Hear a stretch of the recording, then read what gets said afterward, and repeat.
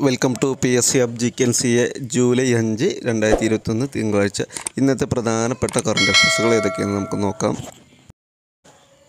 Amazon CEO പദവിയിൽ Jeff ബെസോസിന് ഇന്ന് അവസാന ദിനം. ആമസോണിലെ പുതിയ സിഇഒ ആയി അധികാരമേൽക്കുന്നു ആൻഡി ജെസ്സിയാണ്. ജൂലൈ അഞ്ച് ഇന്ന് വൈക്കം മുഹമ്മദ് ബഷീർ ഓർമ്മ ദിനമാണ്. വൈക്കം മുഹമ്മദ് ബഷീറിന്റെ പ്രതിമയും ആർട്ട് ഗാലറിയും സ്ഥാപിച്ചത് കണ്ണൂർ ജില്ലയിലെ തലയോലപ്പറമ്പിലാണ്. ഇന്ത്യയിൽ പ്രചാരണം തുടരുന്നതിൽ ഏറ്റവും പഴക്കമേറിയ പത്രമായ ബോംബെ സമാചാർ ഇന്ന് ഇരുന്നൂറാം വർഷത്തിലേക്ക് ഇതൊരു പ്രീവിയസ് ഇയർ ക്വസ്റ്റ്യൻ കൂടിയാണ്. ഇന്ത്യയിൽ ഏറ്റവും പഴക്കം പ്രചാരണം തുടരുന്ന പിന്നെ പത്രം ഏതാന്നൊക്കെ ചോദ്യം വരാറുണ്ട്. അത് ബോംബെ സമാചാറാണ്.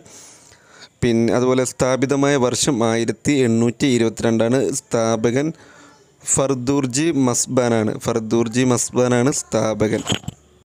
ഇന്ത്യൻ കരസേനാ മേധാവി Manoj Naravane Indian army memorial ഉദ്ഘാടനം ചെയ്യുന്നത് ഏത് രാജ്യത്താണ്?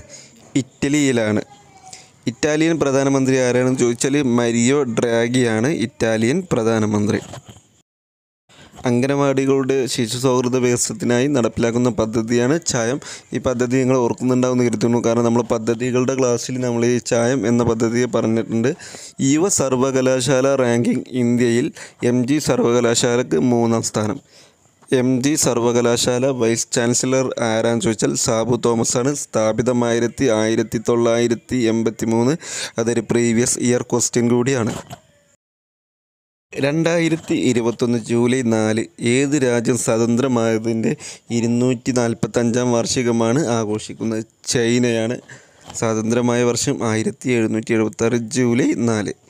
ചൈനീസ് കമ്മ്യൂണിസ്റ്റ് പാർട്ടി സ്ഥാപിതമായതിന്റെ നൂറാം വാർഷികം ആചരിക്കുന്നത് രണ്ടായിരത്തി ഇരുപത്തൊന്നിലാണ് ക്വാഡ് രാജ്യങ്ങൾ ഏതൊക്കെയാണെന്ന് ചോദിച്ചാൽ അമേരിക്ക ഇന്ത്യ ഓസ്ട്രേലിയ ജപ്പാൻ. വിദ്യാർത്ഥികൾക്ക് ലാപ്ടോപ്പ് നൽകുന്ന കെ എസ് എഫ് യുടെ പദ്ധതിയാണ് വിദ്യാശ്രീ. ഈ പദ്ധതി എല്ലാവരും ഓർത്തു വെക്കുക എഴുതി വെക്കുക വിദ്യാർത്ഥികൾക്ക് ലാപ്ടോപ്പ് നൽകുന്ന കെ എസ് എഫ് യുടെ പദ്ധതിയാണ് വിദ്യാശ്രീ.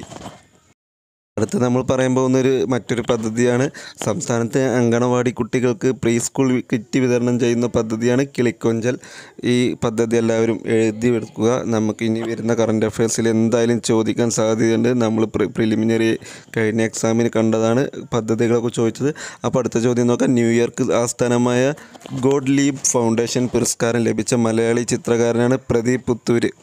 ഈ അവാർഡ് ലഭിക്കുന്ന ആദ്യ ദക്ഷിണേന്ത്യക്കാരനാണ് പ്രദീപ് പുത്തൂര്. മറ്റൊരു പ്രധാനപ്പെട്ട പദ്ധതിയാണ് നമ്മൾ പറയാൻ പോകുന്നത്. രാജ്യത്തുള്ള എല്ലാവർക്കും അടിസ്ഥാന വിദ്യാഭ്യാസം നൽകുക എന്ന ലക്ഷ്യത്തോടു കൂടി കേന്ദ്ര സർക്കാർ ആരംഭിക്കുന്ന പദ്ധതിയാണ് നിപുൺ ഭാരത്.